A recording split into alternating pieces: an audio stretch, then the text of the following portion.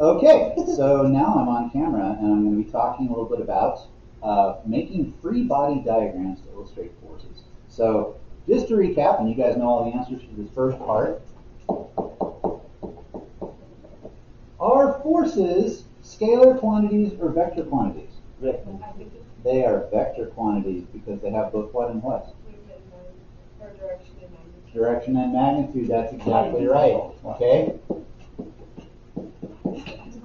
If you are going to illustrate and do me a picture of a vector, what does it look like? A pointing in there. It's a pointy arrow, right? Okay? The pointy part tells us about the direction. What does the length of the arrow tell us? Magnitude, exactly. Well, I'm about to say distance, but I'm wrong. Okay? How big the force is. So if I have two vectors, let's say that I've got vector A and I've got vector B, which one is stronger? B.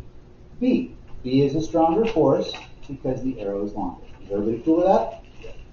All right. So let's talk about one more thing when it comes to forces. What is the difference between balanced forces and unbalanced forces?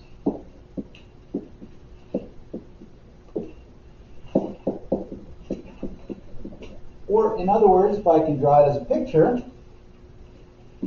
if I've got an object and two forces are acting on that object with equal magnitude versus if I have an object where forces are acting with unequal magnitudes, what is going to be the difference in motion between the balanced and the unbalanced? You know what you felt like this? Yeah. Those people, those persons. Uh-huh. The people in person pulling the thing? Um, What's going to be the difference in the motion of these two objects? So that first one isn't gonna move. That may or may not be true. Why? Because if it's already in motion, It's gonna remain in motion, right? uh-huh. What about the one on the right? That one's gonna accelerate. Boom! There it is. With unbalanced forces, you get acceleration. Remember, acceleration doesn't mean getting faster, although it might. It could mean getting slower. It could mean changing direction. But if you have unbalanced forces, you are going to have acceleration. Is that the, the first one, is that like, isn't it the law of, what is it? An object in motion stays in motion unless acted upon by another. That's one of Newton's laws. Which one is it? Two. One of, that's law number one. Because you're describing, I'm talking about Roman numeral one. It's also the letter I, and it stands for, Inertia. uh-huh. no way. Bro, I'm going off today. Okay. So, if something is already in motion, it will tend to remain in motion unless it's acted on by an unbalanced force. If it's staying still, it will tend to stay still unless acted on by an unbalanced force. And how does friction apply in this situation? Friction is a force. So would, so we could put the, um, Higgs, like Newton's law on unbalanced forces? Well, no, I mean, this applies to both situations here. Okay. Okay? Now, imagine if you will, check this out. Let's say in this first one here, I've got a balanced force. Now, one of these is me pulling on this box and walking that way. So I would label this right here as F for force, subscript me. Okay? Because it's me pulling it. Now, if I'm pulling it, what is acting in the opposite direction? Gravity. We're not Not gravity. Friction. Friction is. So this right here, check it out. So we, this right here would be F of friction.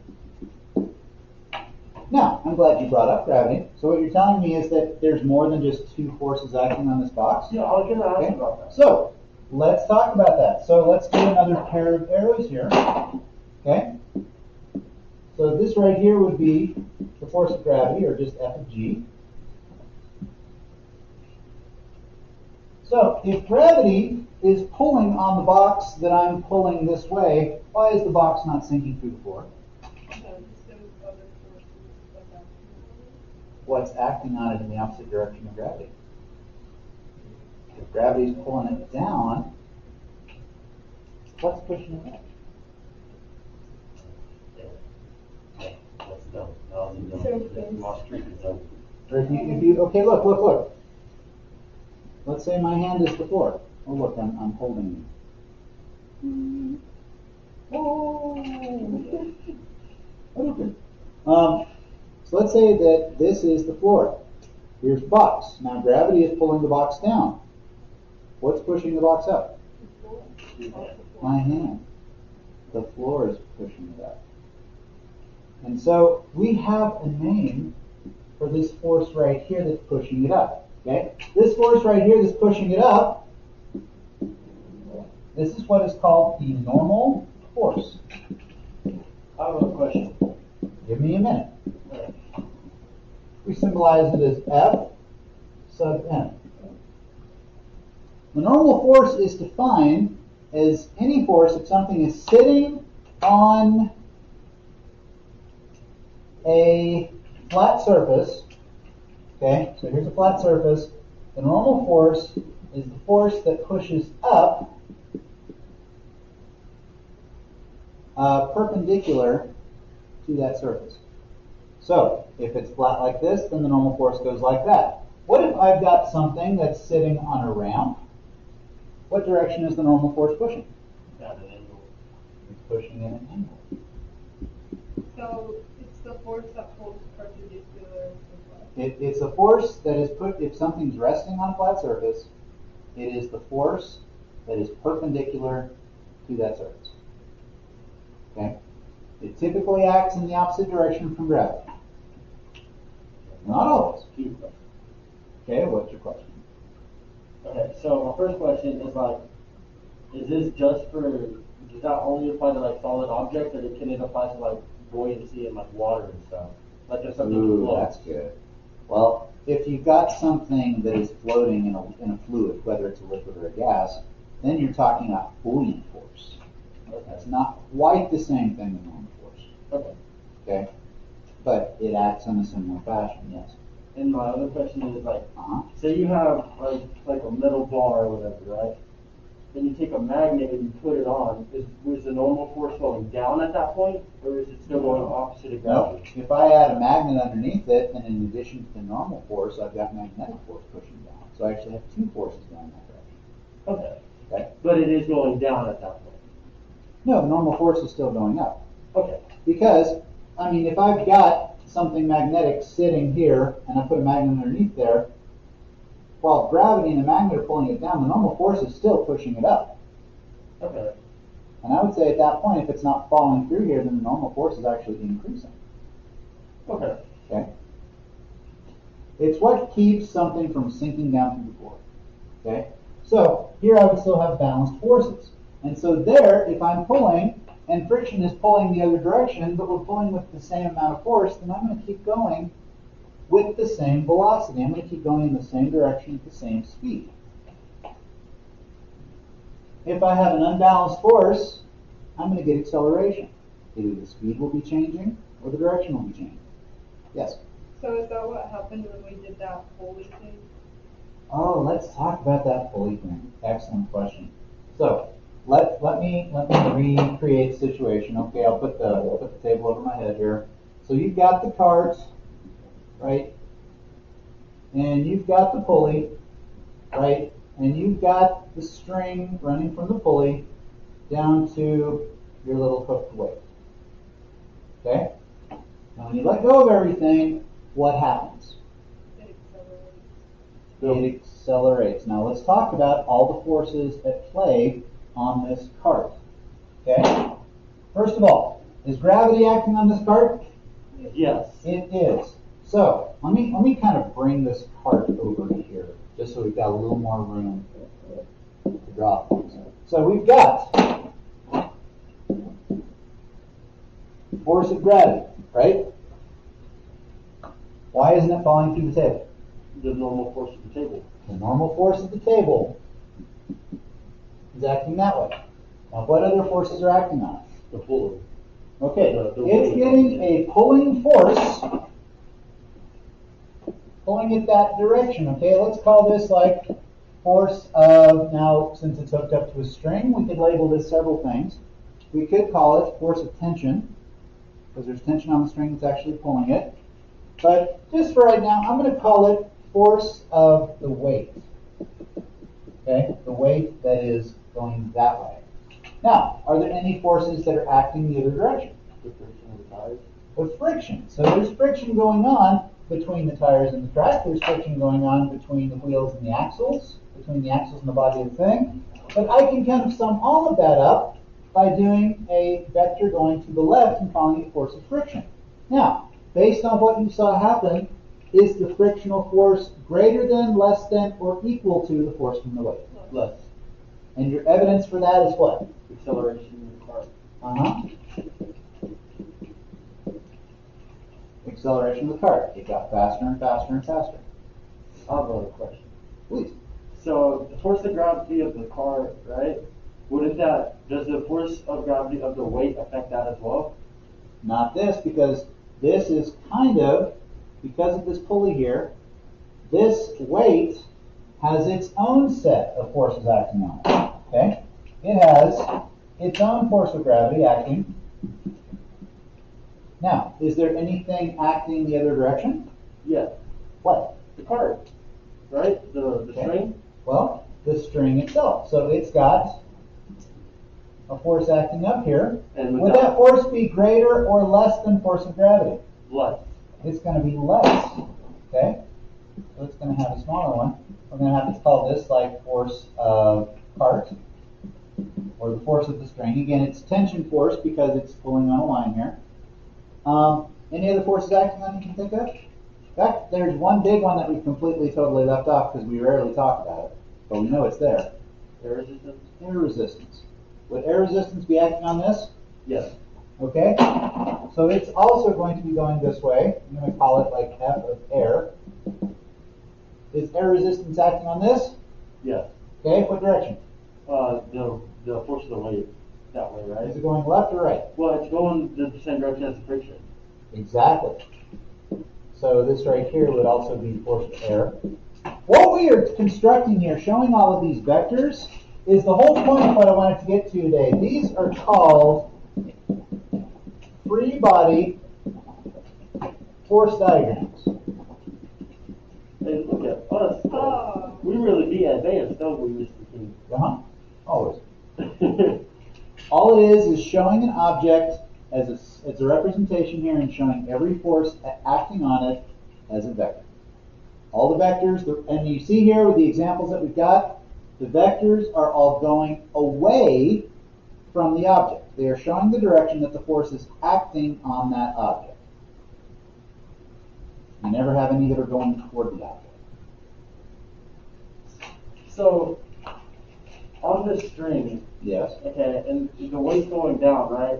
Would the string or the force of the car, would that be considered the normal force in that situation, or would there be a normal force in that situation? On the falling weight, there is not a normal force because it's not resting on surface. Okay. Okay. It is to a degree in free fall, although it's not true free fall because there are there's this tension force pulling our line. Okay. Would it be possible to get this situation where you let go of the weight and the weight and the cart neither one of them move?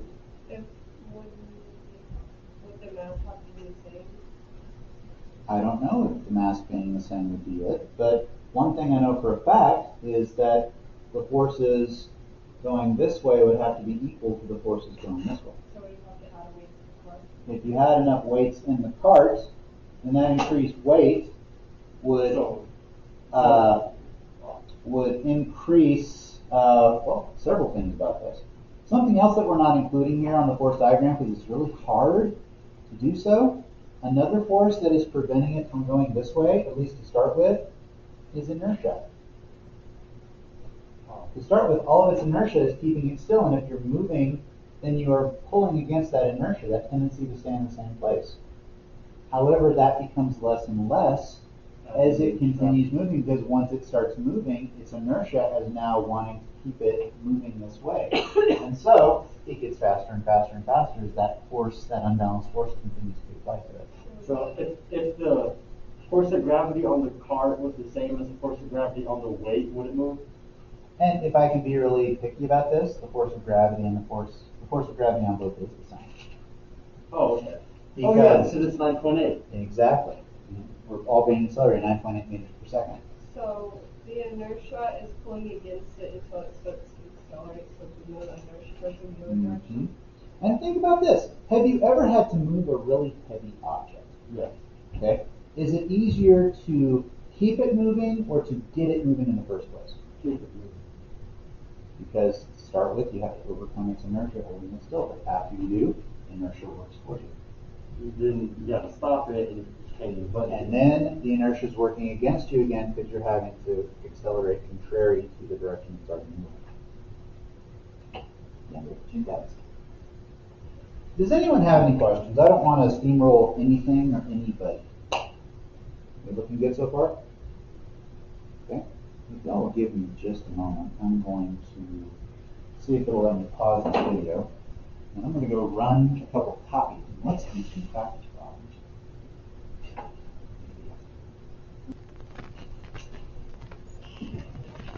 Okay, so now what we've got here is we've got some practice problems showing some free body diagrams. And so, uh, what we want to do is we want to look at each and every one of these and we want to try and be sure we make an exhaustive list of all the forces that are at work on any one. So let's start with this first one, a toy truck resting on the floor. Okay? What I'm going to do, I'm not going to worry about getting too artistic with this. I'm going to draw the floor. I'm going to represent my truck. It's just a box. Okay? You want to make your truck look pretty, make your truck look pretty. I don't care. It's your truck. So, what forces are acting on this truck? Yeah. Okay. So I'm going to have a downward arrow labeled force G. What else? Uh, uh, normal, normal, A normal force, and it's going to be equal because it's not rising off the ground. So F of n going up. Anything else? Nope. If it's just resting on the floor, we are good. What, what, oh, what if the force, those forces be the same? Yes. too? Yes, they would. Do we need to mark those or? Okay, if we want to show that they're congruent, what we can do is just like, you know, put a simple little line on them. If there's any question in your mind about whether one is bigger than the other. Okay. How about number two? Monkey hangs from a tree by its tail. So we gotta the uh, tree and the ground, right? Okay, well, we're gonna, I'm gonna have the monkey right here. It's not on the ground. There's a monkey, let's give him some little know, because he's, he's a monkey.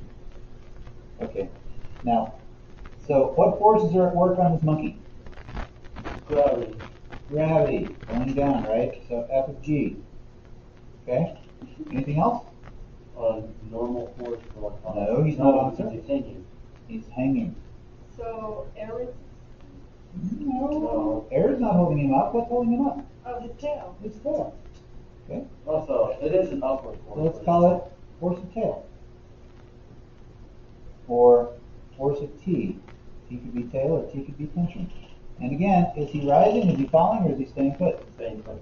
Okay, so again, these are going to be congruent vectors. Ah, now here's where it starts to get fun. A monkey hangs between two trees by its arms that are at angles of 30 degrees with the horizontal. All right. So here's monkey. He's starting to look a little panicked. Okay, so where are my forces? What forces are acting on? Okay, you have force of tension going at an angle, right? Okay, so I've got one going this way, about 30 degrees. Okay, how would I label that? That's what you, Okay, I could do f of t1 or f of t2, or I could do f of arm. Okay, I'll do f of t1. What else? The, in the opposite direction. Opposite direction. Also 30 degrees, right? Yes, gravity still. of t2. And then we've got gravity. And are the F and T's congruent to the F? Now, these two would be congruent to each other. I agree. Now, a big question, and we can go ahead and you can go ahead and discuss this and let's listen. Would the force of gravity be congruent to those? Would it be greater than or less than? It'd be greater, than, right? Well, Or would it, why? Because wouldn't it Force of be gravity was greater than he would be falling. Okay, now wait a minute. Oh, okay, but wouldn't Here- be like Here's forty-five? here's here's where you're going to go. You're going to groan really big. And some of you may already be pre-groaning because you already see it coming. Let's just look at one of these tension forces here. This tension force right here at 30 degrees. Guess what? It has an x component and a y component. Right. So look, if, if there's one of these on this side, and there's another one over here on this side, another little y component of this going up, then these two y's added together would be equal to this g going down. Okay. Okay, so they're equal. Well, Well, these are not equal to that. So them together are equal. But since they're separate, it's not, no, right. Okay. So these, right, these are equal to each other, but neither of these are equal to gravity. Hey, So they have to be put together to be equal? Or no? Well, let's let's let's put some numbers to this because now now I'm really interested in finding a good answer. to this. So well, we on number three. yeah, we are on this. You good. gotta. So no, this is good. This is good stuff. So let's let's go ahead and give. Let's say that gravity is pulling on this monkey with a force of 10 newtons. Okay, is that fair? Yes. Okay? Now this monkey is also, let me put a little horizon through the monkey here. He's got an arm going up here and an arm going up here at 30 degrees. And so we've got some kind of unknown force on both sides that's going to be congruent, right? So if we just look at this and we make a right triangle out of it, and there's an x component to this vector, and there's a y component to this vector. Now, I'll tell you right now, the y component of this vector, do you know what it's equal to? So there were five, It's equal to 5. Yeah. Exactly, how to get that? because half of ten is five. Right, so this upward part right here is 5 newtons. And over on this side, this upward part right here is also equal to 5 newtons. So could I actually figure out how many newtons of force are present on this hypotenuse? Heck yes. I'm going to use SOHCAHTOA. So let's do that. If I wanted to find this, okay, so so that's opposite. So I'd use sine, right? Because sine equals opposite over hypotenuse. So if I say sine of 30, that's going to equal 5 over uh, whatever my force is. So it would be divided and then that by. No. Well, if I divide by 5, that's going to be 1 over h. If I invert this whole thing, and I say 1 over sine of 30, that would be equal to h over 5. That's going to be easier to solve. So it's actually, okay, so 5 divided by sine of 30. Is that what you just said? Yes. Okay, yeah, you're right. So if I do 5 divided by sine of 30, making sure that my calculator is in degrees, sometimes it's not, I get that that force, holy crap. Guess what that force is? Good. So, somebody else do this. I want to be sure that I'm not just making this crap up. Is it 69? No. Nothing so fun.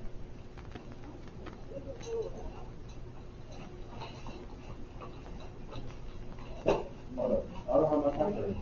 Oh, I don't have my calculator. Oh.